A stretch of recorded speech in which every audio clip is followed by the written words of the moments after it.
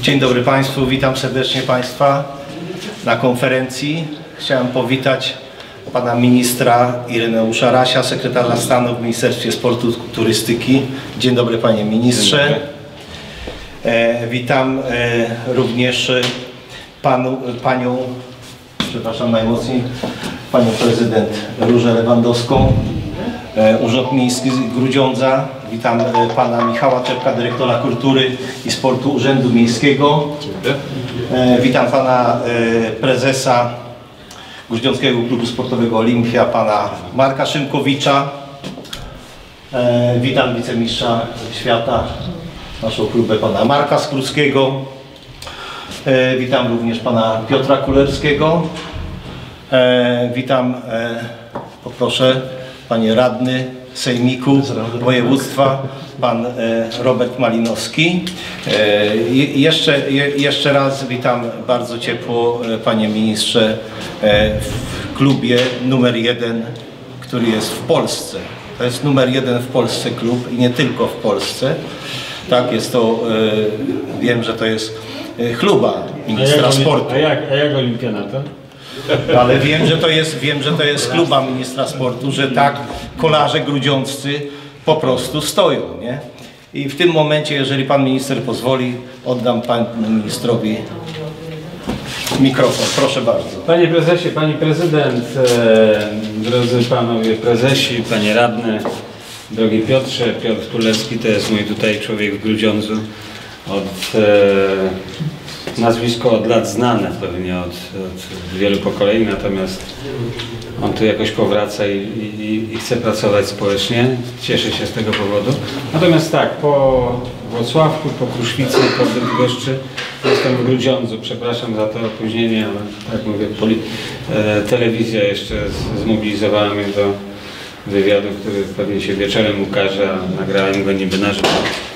E, Ale Szanowni Państwo, e, cieszę się, że tutaj jestem.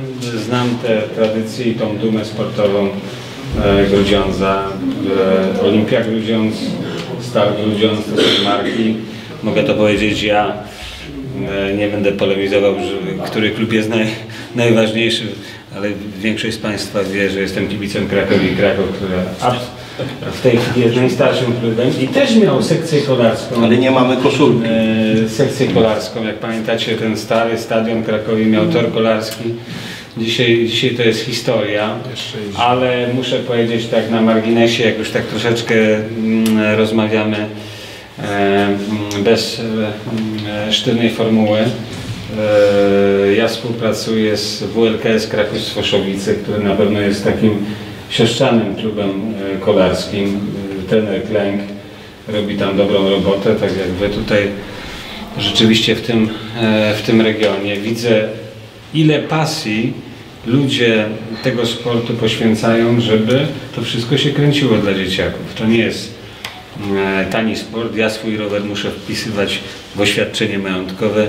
Ci, którzy są wtajemniczeni, to wiedzą, że wszystko, co jest powyżej 10, 10 tysięcy trzeba wpisać, a jakby ktoś z tych służb się poznał, ile, ile jedno koło kosztuje, tak nieraz, no to, no to, mm, no to, no to wolę wpisywać, chociaż nie odbudowuję go na nowo w tej chwili, być może on jest, mm, ale na pewno przekracza tą wartość ten rower.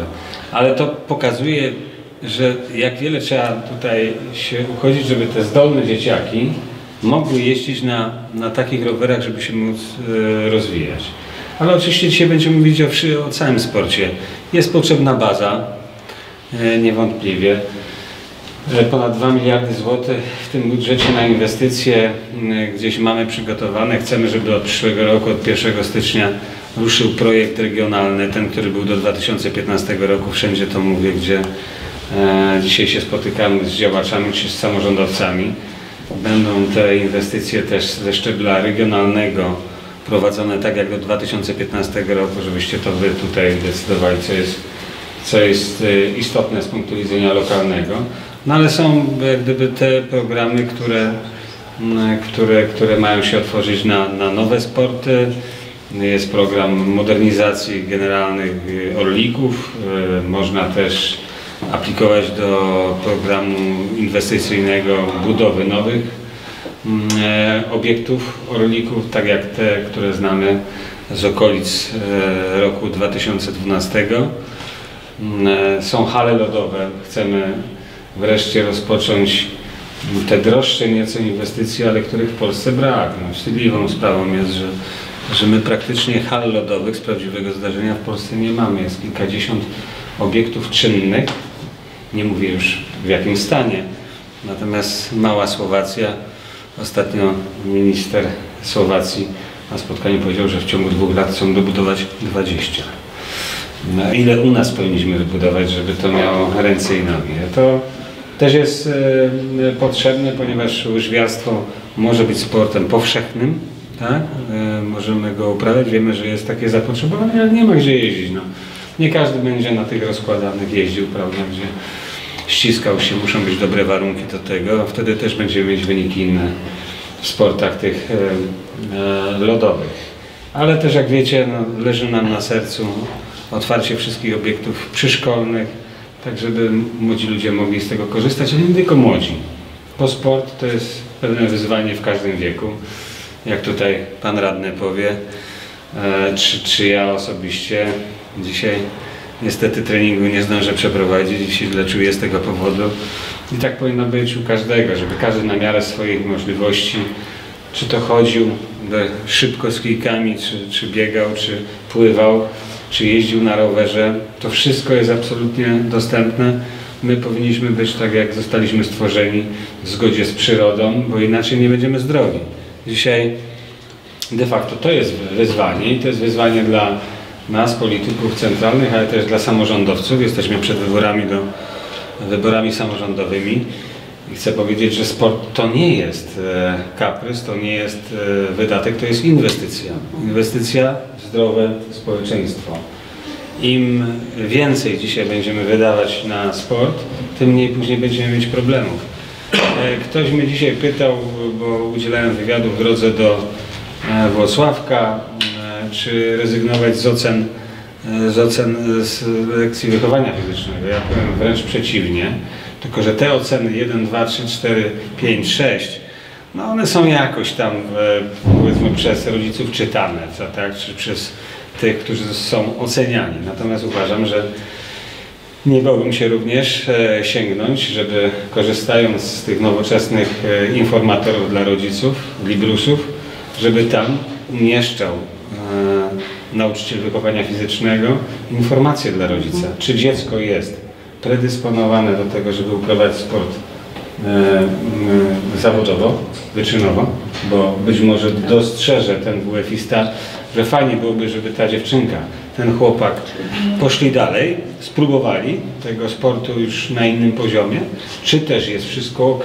dziecko się dobrze rozwija, czy też uwaga, idziemy w złym kierunku i trzeba to napisać, że dalsze takie postępowanie, e, czyli zwalnianie z WF-u, lekceważenie e, elementów właśnie e, kultury fizycznej sportu przez danego, daną dziewczynkę, chłopca czy też rodziców nie doprowadzi w perspektywie, w przyszłości tą osobę do problemów zdrowotnych. Uważam, że to jest uczciwe i nie ma to nic wspólnego z dyskryminacją, tak jak z matematyki czy polskiego. Tak, taka opisowa ewentualnie informacja powinna być. Musimy wrócić oczywiście do testów, takich podstawowych. I po to jest przy każdej szkole potrzebna bieżnia, krótka, 60 metrów, potrzebna jest skocznia, powinno być e, próby skoku e, wzwyż. E, to nie powinno być tak, że skok przez skrzynię to jest jakaś fanaberia nauczyciela, czy uwaga, bo dziecko sobie krzywdę zrobi. No każdy z nas e, w latach 80., 90. E, podchodził do tych testów i musiał temu sprostać. To tak się wydaje, to trudne, przerażające. No ale tak, tak się to kończy, jeżeli e, pójdziemy w kierunku, czego ja politycznie jestem od lat przeciwnikiem, zrównania w myśleniu, że e-sport jest sportem. To jest droga donikąd uważam, że i będę chciał, żeby e, w tej kadencji e, nasz rząd jasno się określił w tej też kwestii. To jest biznes oczywiście, ale to są też zagrożenia, jak Państwo wiecie. Ciężko jest dzisiaj wyrwać e, dzieciaków od tego. Ja ostatnio byłem na zawodach judo, byłem zafascynowany. 500 dzieciaków pod, w, w powiecie olkuskim, pod, niedaleko Krakowa, w województwie ma, małopolskim, w sobotę, rodziców. No po prostu wielka hala, tylko rodzice i te dzieci w, kim, w kimonach. Ja mówię, świetna sprawa, wygimnastykowane. No ale jeden chłopak oczywiście gdzieś tam przygotowując się do walki miał smartfona i stał z tatą. Ja mówię, a ty, bo tobie, tobie zabiorę zaraz tego smartfona, ty się przygotowuj do tej, do, tego, do tej swojej walki. Tata się śmiał, mówi, no właśnie, do tego dochodzi, że te dzieci cały czas nawet czekając na swoją walkę, gdzieś tam piszą, e, korzystają ze, ze smartfonów. A co do, do, do tego, jeżeli dopiszemy, że że e-sport w myśleniu jakby młodego pokolenia równa się ze sportem. To jest niedopuszczalne. E, ja też jeżdżę, choć mam dużo doświadczenia, jak e, Państwo wiecie, w obszarze e, sportu i turystyki, ale chcę też na nowo trochę popatrzeć na to i porozmawiać z działaczami, rozwiązać jak najwięcej problemów związanych ze sportem. Jestem zwolennikiem oczywiście autonomii związków, polskich związków sportowych, ale upominam i tutaj jak mówimy o kolarstwie, to po prostu ręce mi opadają, że tak wiele lat nie, to środowisko nie może się zorganizować i wyjść z problemów e, z problemów e, finansowych, co doprowadza, jak już mówimy tutaj o kolarstwie, do tego, że są według mnie zakłócone przygotowania do Igrzysk Polskich Kolarzy, bo no nie ma im jak przekazywać tych pieniędzy, są te bypassy. Mm, być może można by szybciej e, przekazywać te pieniądze, ale pamiętajcie Państwo, w trosce o to dobre wydatkowanie musimy też wiedzieć, że ten pośrednik wydatkuje te pieniądze dobrze, zgodnie z procedurami, nie, nie będzie musiał wracać, bo, bo to ta historia się cały czas powtarza. Myślę, że jesteśmy po Igrzyskach Olimpijskich skazani na jakiś okrągły stół środowiska kolarskiego, tak żeby ta dyscyplina, która przecież ma zasięg nieprawdopodobny dla całego społeczeństwa jest bardzo ważna, bo na rowerze jeżdżą prawie wszyscy. Nikt nie musi jeździć tutaj zawodniczo. Ja też jak jeżdżę, e, to nie jestem w stanie zjechać tak jak e, byli e, profesjonaliści, jechać w granicach 100 km na godzinę w Tatrach, na zjazdach. No staram się to miarkować w jakiś sposób. Wolę jechać jak, jako ten amator prawdziwy wolę jechać pod górę, bo wtedy ich wyprzedzam. Bezpiecznie. Jest bezpiecznie i tam się liczy tylko siła, prawda? Jak przekręcę e, i, i wyprzedzę, natomiast, natomiast no, na zjazdach jest to technika, umiejętność e, dobrego prowadzenia tego roweru, roweru w dużej prędkości, składania się. No tego się trzeba uczyć.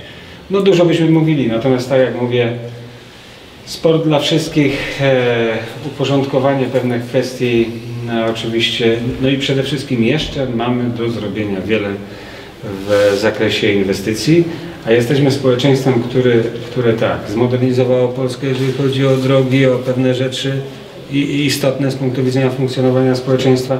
Dzisiaj trzeba postawić na jeszcze szersze inwestycje sportowe, dlatego że one de facto dają też później możliwość takiego e, aktywnego wypoczynku wszystkim rodzinom.